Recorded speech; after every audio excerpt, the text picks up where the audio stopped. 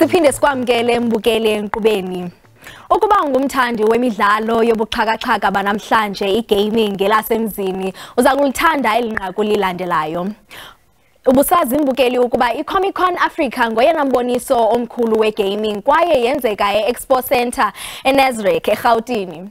Namhlanje ke sihleli nostefan roots oza kusixelela ngale expo good morning stefan and welcome to the show Hello, Bushra. Thanks for having me. Thank you so much for being with us. So, Stefan, please tell us where does the love of gaming come from and where does it stem from for you? Well, my journey really started when I was in primary school and through friends. Uh, one day, someone brings something cool to the playground. Um, you know, you really like it. By the end of the week, a few people are playing it. By the end of the month, it's become a playground craze, and that's really how you get into it through friends. Yes. And tell us what has been the experience like as you grew into gaming over the years? Well, for me, it's been an absolutely wonderful journey. I like the collecting aspect of it. I've met many wonderful friends through it. Um, it's something that I've done as a pastime. I've done it as a job now as well, and I've gotten to travel the world. So it's something I encourage everyone to take up just as a hobby.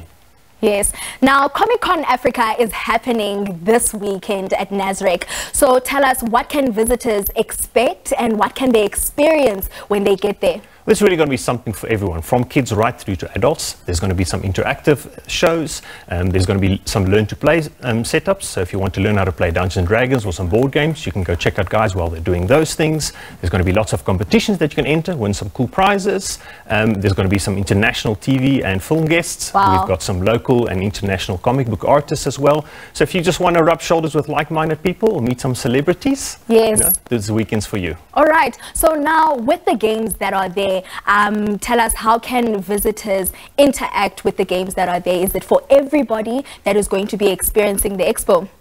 Yes, so there's different things. If you want to maybe just go and observe, you're welcome to go and stand by some of the stands. As I said, we'll be teaching people how to play the games. Those will be the demo setups.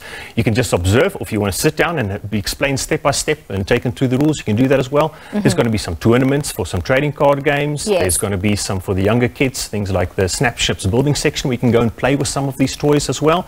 There's going to be some screenings. Yes. There's going to be some Q&A sessions, panel discussions, and even some workshops about maybe some, you know, things about how to start off with cosplay or even how to become a YouTuber. Yes. So now what makes gaming so popular? What are the benefits? I think it's the social aspect. You know, the physical gaming compared to the digital gaming, it's a face-to-face experience. You have to sit across from someone, you get to see their facial expressions, and you get to laugh together, you get to touch the physical pieces. It's just really a fun time to, to spend together with friends and family. Yes. Now, we've spoken about the experience, we've spoken about the games. Tell us about cosplaying. What is the expectation there?